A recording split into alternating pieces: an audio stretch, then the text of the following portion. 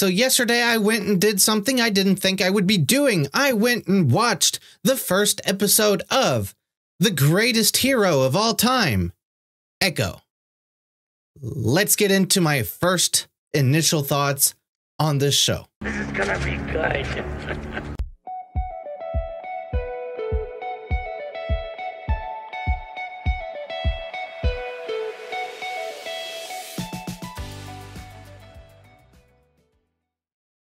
So, before I actually get into reviewing the first episode of this show, let me preface this. I actually, for the most part, enjoyed Hawkeye. And from what I understand, understood, this is a spin off from the Hawkeye show. Now, I know the Hawkeye show had issues, it had problems, it wasn't the greatest thing out there, but for the most part, I enjoyed it. I actually enjoyed the character Kate Bishop, you know, maybe a little guilty pleasure or something. I don't I don't know. It it wasn't great, but I enjoyed most of it from, you know, everything else coming out from Marvel and Disney in general. It's like whatever. But watching this, I knew from the start that it prob that I probably wouldn't like it, but I decided I was going to give this show a chance. I wanted to give it a fighting chance because, you know, I don't hate Hawkeye. You know, I I I was hoping that it, you know, maybe maybe it's not close to what the comics and stuff are. And I'll be perfectly honest there. I haven't read the Echo comics. I don't know this character. So I was going in with the hopes that, you know what, it might not be what a lot of fans, you know, real comic book fans want, but it might not be quite as bad as they're making it sound. All right, so let me put it this way, right? I was hoping beyond hope that it would actually be okay. I and look, I'll full disclosure, I probably wouldn't be checking out this show at all if we wouldn't be talking about it on Friday night on Friday night Rumble. And at first I was like, uh, you're really going to make me watch this? And I know that there's some there that might, you know, not watch it. I don't know. Just pointing that out. But I decided, you know what? I'm going to give it a chance. So in the evening, when everything was done, all the housework, you know, cooking, cleaning, you know, dishwashing, all that, all that was out of the way. And I sat down for the evening. It's like, you know what? I want to torture myself. They tortured me. Went, turned on Echo, and in the first couple of minutes of the show, don't get me wrong, I actually enjoyed the cinematics of the beginning of the show. So let me put it that way. Yeah, I did enjoy that.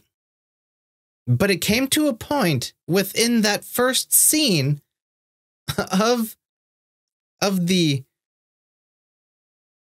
origin of the Choctaw tribe where I'm like, oh my God, did they really just do that?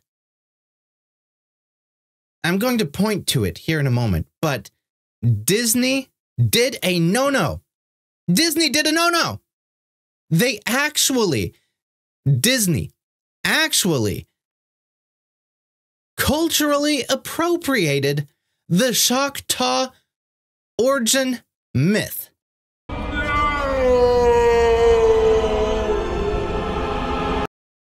You don't believe me? Let's go take a look. Siyakaya. The first Choctaw's name was Chafa. This, Saved her family from their cave. this right here is what I'm talking about.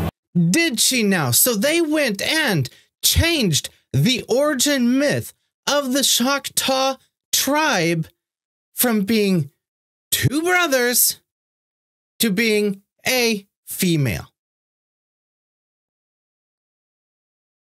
And this is allowed?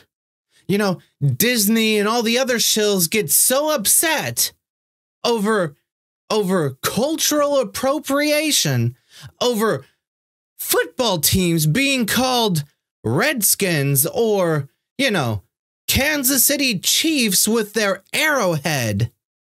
Hypocrite! These weirdos get butthurt over those things, cancel people over it. But this here is okay. That totally blows my mind. I don't get it. Mind's blown. You're welcome. But that was already that was the first thing that I didn't like about the show. It's like, holy crap, they just changed the origin myth of a actual real tribe. Couldn't you stick to the true story for this? Oh boy, I guess at the end of the episode they thanked the Ch- the Choctaw tribe. So is, is would that have been enough if the Redskins went and thanked the uh, the Native Americans there? Everything would have been fine and they could have kept the name Redskins? I don't know. It's just it's very upsetting. And that's just the beginning of the show. Horrendous writing. Some bad fighting scenes. Ever-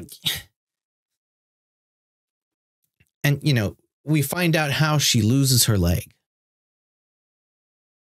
Now, I've heard others already talk about that. If windshields broke, as they do in that show, that would be the number one cause of death around the world. Cars would be banned if windshields broke the way they do in that show and caused her to lose her leg. Right, but so this first episode was generally about how this little girl, Maya, became Echo. And, you know, starting off the story of of the show, which is from what I gather, just an elongated movie and just whatever. But the first episode, the general direction that it went from this little girl, how she got into an accident with the windshield, and her mother died. It went on. Oh, I should probably put up spoilers somewhere here. I probably did that in the editing. You know that there's spoilers here. Um, she goes, you know, loses her mother, and her closest family takes her to New York with him. There, he has a uh, body shop or car dealer type of thing, and you know they're into, uh, you know, kingpin. You know, they're part of the crew basically, and uh, you see Hawkeye take out the family, which you got to see in Hawkeye, and how she vowed to find her father's killer and she joined up with Kingpin. Then, you know, she learned about Kingpin and that he actually wanted her father dead. So she goes and kills him. Or, well, too much spoiler here? Hell no.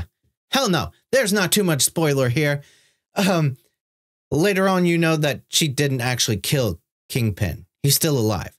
But, you know, then from there on, she she you know tries to get away. She you know she she needs to to get some distance you know try to figure things out. You know wants to hit kingpin's men where you know where it hurts and uh, i guess you find out that her ultimate goal is to become queen pin yes that's right. She wants to become queen pin you know uh, spoilers M- more spoilers. Spoilers on top of spoilers. Kingpin's still alive. So that was basically, you know, that was the overall general uh, story of episode one.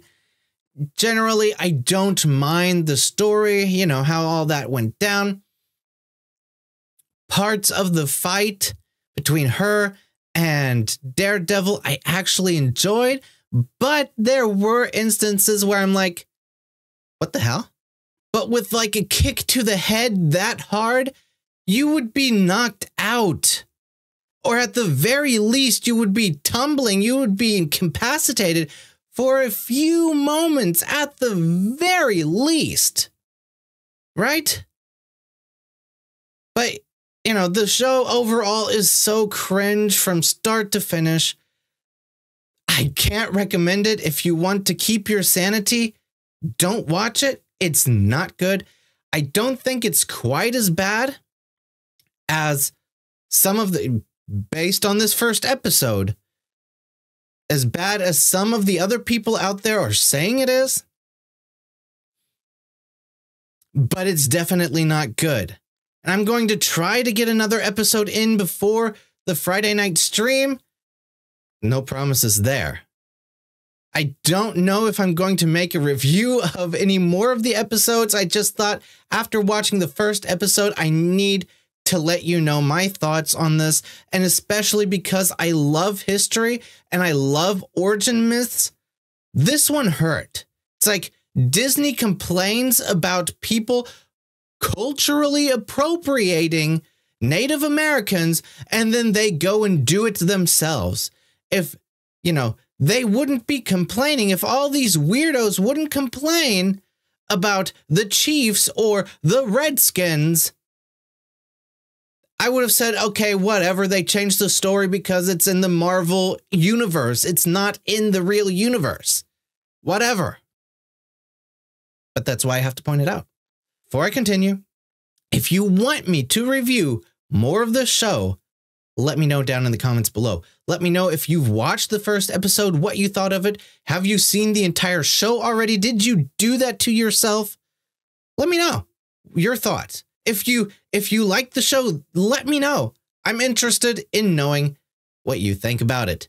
Anyway, I'm going to let you go with that. Please consider subscribing, hitting the bell for notifications, you know, smash that like button. I know I'm turning it around again. Um if you want to see me on the live stream again, I will be on with Friday Night Rumble over on Legion Talk and simulcast on the Joker voice. I'm going to put both links down in the description so you can check out their channels. Absolutely love the people there. And I'm glad to be a panelist over there. Anyway, that's it for now. Until next time, take care.